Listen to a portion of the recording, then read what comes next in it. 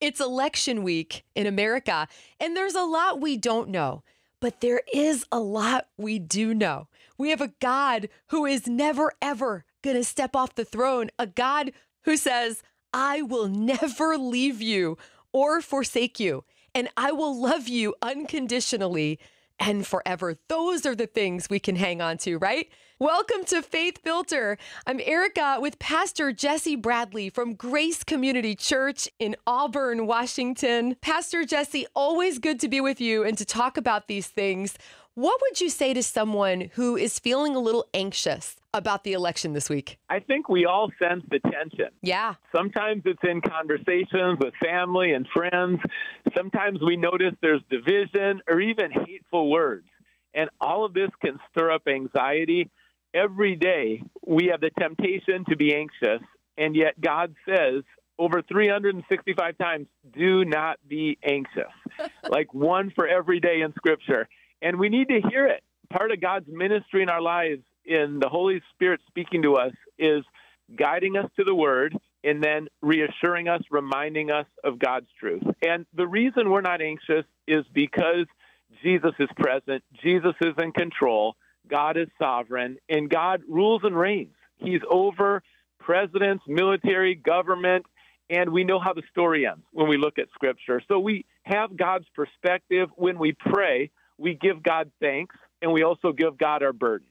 Give God those two things. Continue to thank God so you don't overfocus on the problems yes. and then continue to give your burdens to God.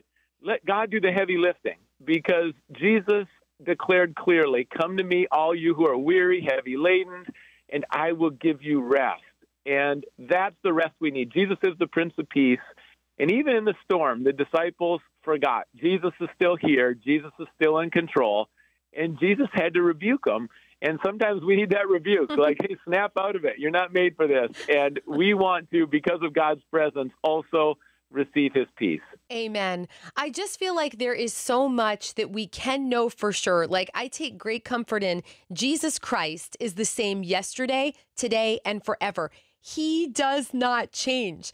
This means that we can be at peace no matter what, right? It means that our mission also doesn't change, Erica. And when there's change happening, it's important to notice what does change and what doesn't change. The scripture doesn't change. Like you said, Jesus doesn't change.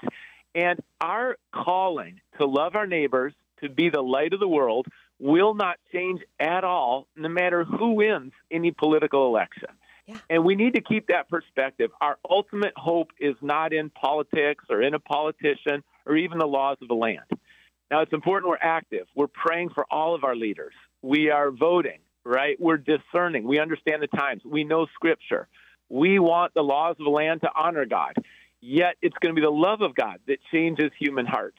So, we want to approach things from a biblical perspective, not just blown about the wind and the waves and the next rant and opinion. We come back to what's solid. Jesus is our rock, and that makes all the difference. And when you abide with Jesus, your house will be like a house on the rock yes. and not the sand. Mm. There's a lot of people who feel like they're sinking right now. They feel like mm-hmm. the ground's not stable. Well, we are secure in Jesus' hand. No one can separate us from his love, and God will not forsake us. Mm-hmm. God will keep all of his promises. And that right there is an anchor for the soul. That's why we have hope that's greater than our circumstances or our challenges. That's why we're grateful for our country right now. We can still gather in churches. We can pray anywhere. We can share our faith. Yeah. There are incredible freedoms that we want to protect and enjoy and live for Jesus. Uh, right now in 2024, like this is time not to be sleepy or discouraged or retreat to the cave. Like this is a time and the darker things get, you know, a little bit of light goes a long way. That's Amen. the good news. But when things are light, you might not notice a little more light. But when things are dark, a little bit of light stands out. And Jesus said it so clearly don't put your light under a bowl right now. Shine the light so that people will know your Father's good and they will praise God. They won't give you all the glory and the credit, but they'll know. They'll see a difference in you. They'll see Jesus in you. And I go back to the book of Acts. That's what made them stand out. They were courageous, they weren't anxious. Why? Because they had been with Jesus. Mm. And whenever you're starting to feel anxious and you feel scared, let that be your reminder, your cue.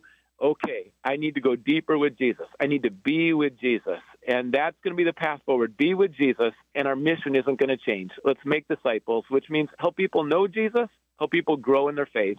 If we do that where we live, work, learn, or play, we're going to see healing and transformation in the land and in our homes as well. Oh, Pastor Jesse, thank you so much for reminding us that Jesus is still on the throne. He hasn't left the building. We appreciate you so much. Let's keep trusting him together, Erica. Appreciate all you do to encourage people around the sound. And uh, you're just consistent with bringing hope, and that's what we need today. So let's stick with biblical Christianity, not cultural Christianity, and we have our eyes on Jesus, not the storm. Team Hope. Thank you, Pastor Jesse.